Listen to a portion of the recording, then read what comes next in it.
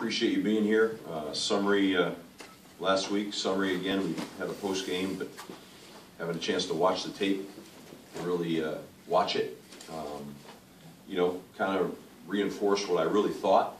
Uh, We ran the ball pretty well. Uh, We rushed for over 200 yards, and quite frankly, probably could have rushed for 250, at least. Um, We had a series, when you go back and watch it sequenced, which I didn't bring with me, but I had it sequence by sequence, it's pretty amazing. You know, second play of the game, we put the ball on the ground, gave him a short field. Uh, Next series, we had, uh, um, whether it was the next, or I might have the sequence messed up a little bit, but there was a, a drop ball on third down by a guy that never drops one. Then there was a third and one where we had a, uh, twelve guys on the field penalty. And there was a series of things like that throughout the game, that every time you're trying to move the chains, you didn't move the chains. And it had everything to do with us, and, you know, with all due respect, not really anything to do with them. Yet, because when you really watch it, I mean, we averaged over five yards a carry rushing the ball. And when you're doing that, that shouldn't be that outcome. Uh, Our passing game was a non-factor because there was a multitude of reasons. Uh, Some were bad down distances, a serious numbers of drops, um, and some, you know, and some sacks that didn't, you know, we probably didn't need to take. So when you just watch it series by series from an offensive standpoint, it's a, it's a hard thing to watch because, you know, once again, and I've been in those games before, you, know, you're not, it's not like you're getting smashed or something. That, that's just not happening. But you're stepping on your own foot and you're not executing, which we need to execute because we're not one of those teams. We need to be a very systematic team down the field where then the culmination of our run game takes an effect on the defense.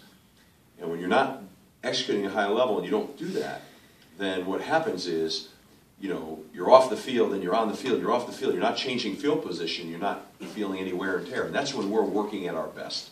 And that's, we need to fire that way. So turnovers, penalties, those types of things, all they do is stall drives and they create problems because we're not the kind of team that can remake that up with a multitude of chunks, which some teams can do. And we don't really have that kind of firepower.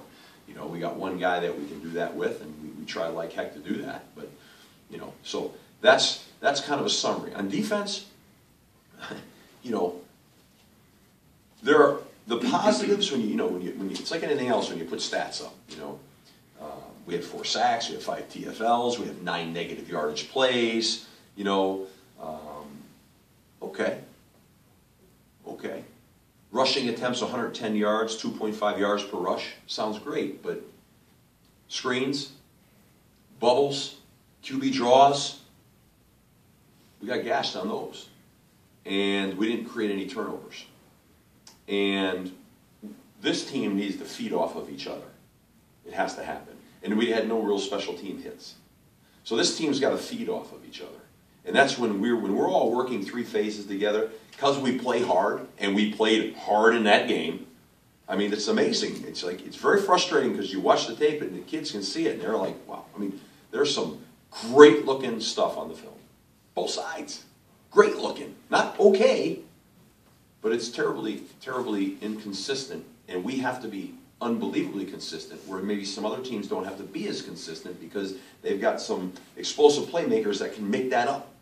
Just make a play and all of a sudden, boom, you're down the field 25, 30 yards. And so, but we have to be very systematic and really truthfully on both sides of the ball. I mean, so, you know, and on special teams, like I said, I didn't think we tilted the field in any way, shape, or form to help us. We didn't have any big return on kickoff return. We didn't have any real big punt return. You know, we didn't have those things happening for us. And that's the way we need to play the game. So, that's kind of the summary of that. But when you look at it through the eyes of, like, how did the offensive line play? How did the running backs play? How did the tight end, you know, we played hard and we did some really good things.